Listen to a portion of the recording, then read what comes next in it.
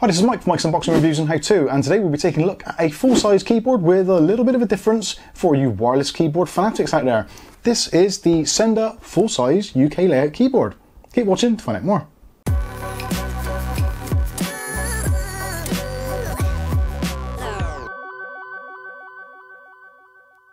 Okay, so on today's video we'll be taking a look at the Seenda wireless keyboard. This is a full-size UK keyboard. Other versions are available. Affiliate links will be in the video description below, so you can check those out for yourself to see what is available in your local area. This has actually been sent to us free of charge for review purposes. Uh, I'm not going to mention the company name because I'll put it in the link so you can find out for yourself. And also it's one that I honestly can't pronounce that well. So with that said, let's take a look at the keyboard. Now this is, as you can possibly see already, a wireless keyboard and mouse, hence no wires and this is a full-size UK layout with a separate numpad and all the function keys, all that kind of stuff. Also as well, you've got a three-button mouse, which is uh, very compact, so for those of you that like uh, not taking up a huge amount of room on your desk, but you do want a full-size keyboard, this certainly looks like a good option. So we'll go through, do a quick unboxing, see what we actually get, go through some of the specifications, give it a practical test, and then we'll also talk about some of the uh, pros and also the cons. Okay, so let's take a look and see what we actually get in the box. So first of all, we get the mouse itself, which is actually a very nice looking mouse. You've got a kind of satin matte black rubberized finish on these buttons on the top, a nice notchy wheel, and also on the top there, there is a DPI selection switch, and there's various DPI options available from 800 up to I think it's about 2400. We'll double check that on the specs a little bit later.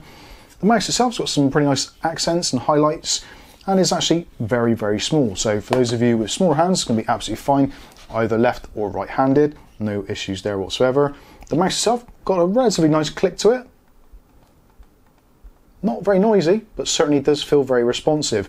Obviously, you're not going to get a good idea of that, but certainly if you're using this in an environment where there's lots of people and you're doing lots of rapid clicking, you're not going to annoy your colleagues or your family if you're up late gaming possibly. The mouse buttons have actually got a lifespan of up to about 5 million clicks. Obviously, we won't be testing that. When it comes to the keyboard itself, the switches actually have a lifespan of approximately 8 million times. So, yeah, we won't be testing that out either. The mouse itself is powered by a single AA battery. Batteries aren't included, unfortunately. And inside there is also this little tiny wireless nano receiver. So that is a combination receiver. You plug that into your PC and both the keyboard and the mouse communicate with it. There isn't any way of programming it at all, so this dongle is programmed at the factory to use with these components and these components only. On the bottom of the mouse you've got three pads, so one at the back and two at the front there to keep it stable on the desktop surfaces and also there is a physical hardware on-off switch which is uh, quite handy for saving battery life, although I have found in testing the mouse itself and the keyboard do go to sleep relatively quickly and all it takes is a quick click or a movement to actually wake them both up. So battery life should be excellent.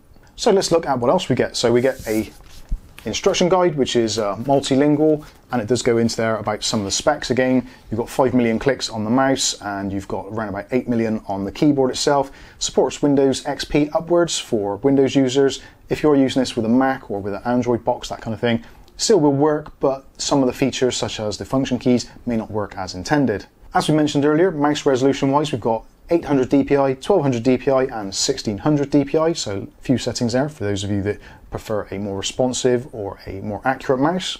It also goes through in some detail telling you what the function keys do and all that kind of usual stuff. I'll put this up on the screen so you can see it a little bit clearer. So let's take a look at the keyboard itself. And This is where things get a little bit interesting. There is a slight change to the keyboard, which uh, this is something I've not really seen before, and that is the fact that on the top here, there is a kind of a, a holder there, which is essentially designed for holding a mobile phone. So whether you want it in the landscape mode or whether you've got it in portrait mode, so maybe you're doing some kind of essay or you're working on a piece which is timed, you can set the timer up on your phone and you've got a visual representation. Or alternatively, if you're working away and maybe you want to catch up on the latest videos or listen to some music, you can just put your phone in there and watch videos, all that kind of usual stuff. So that is actually pretty cool. Also, obviously, if you want to, you can make use of that and just use it as a pen caddy, which is quite nice if you're moving your keyboard around the desk a lot, you can take the pen with you.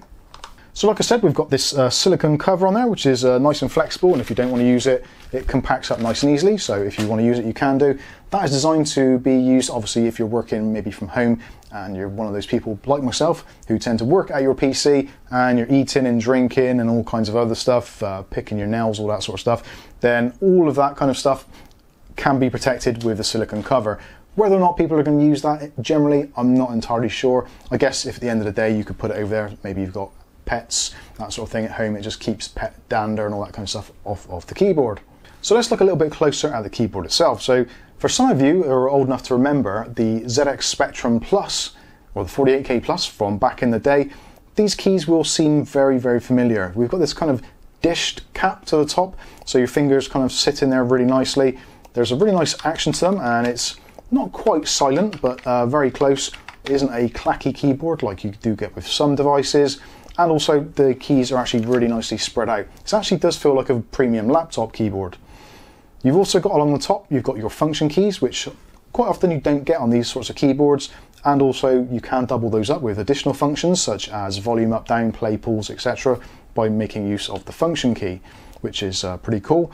Also as well, you've got other options at the top here. So you've got calculator and you've got brightness up and down. So obviously there is kind of a little bit of a nod towards laptop users, that sort of thing, which this is going to be absolutely perfect for. If you've got maybe a smaller laptop with a tiny little keyboard and no trackpad, this is going to be absolutely perfect for you. Also as well at the top, which is a really nice inclusion, which you don't get on the likes of certain keyboards like the Logitech MK270 or the newer version, the 295 which you actually have a dedicated numlock and also a caps lock button.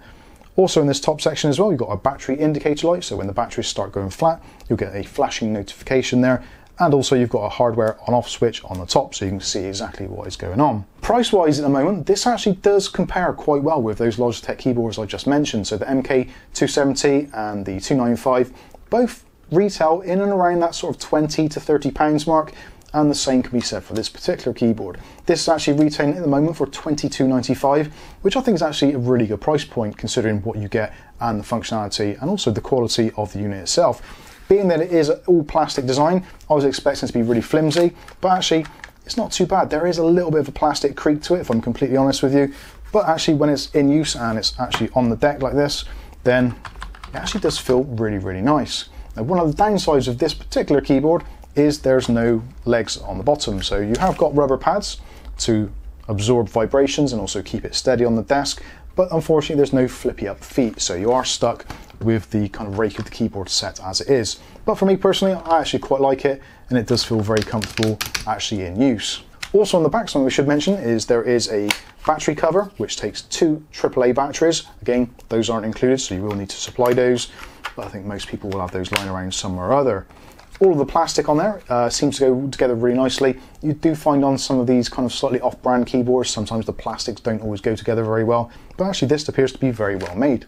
Okay, so let's do a practical test. So I'll uh, raise the volume if necessary so you can actually hear what the keyboard sounds like. Here we go.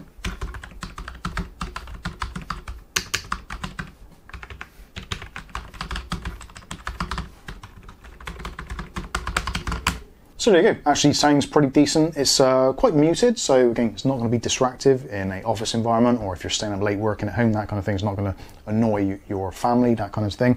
And the mouse, again, those very, very quiet dampened switches, isn't going to be distracting at all.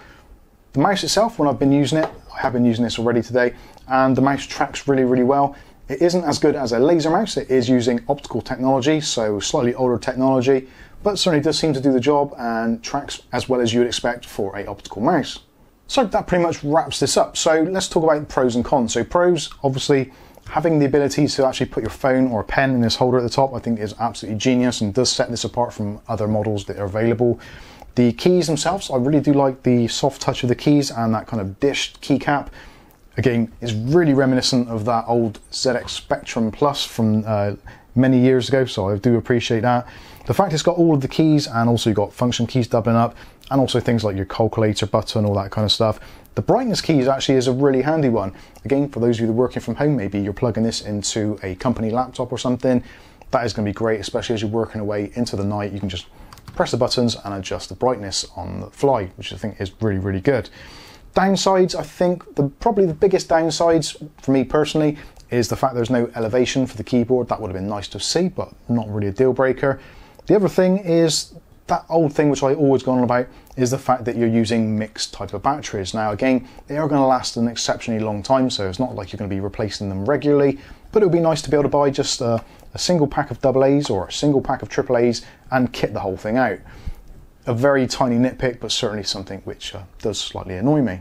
But overall, that said, I think that's really the only negatives on it. The positives, I think, fully outweigh it. So you've got the cover, which is great. You've got the phone access here, which is excellent. The separate numlock and caps lock lights are a brilliant addition. I don't know why more manufacturers don't do that. I guess it will have a very, very minimal impact on battery life, but not so much that it's going to be a deal breaker. The physical hardware buttons all work very well, the on-off switches, etc. I think it's a really nice kit, and again, for around about the sort of £22, £23 mark, I don't think there's anything better on the market. I genuinely don't. So let me know what you think about this in the comments section below. I'd be really interested to hear your thoughts. Obviously, if you do want to pick one of these up, there will be affiliated links in the video description below. And uh, yeah, I think that's going to pretty much wrap this one up. So I've been Mike, this is Mike's Unboxing Reviews and How To, and hopefully we'll catch you in the very next video. Thanks for watching.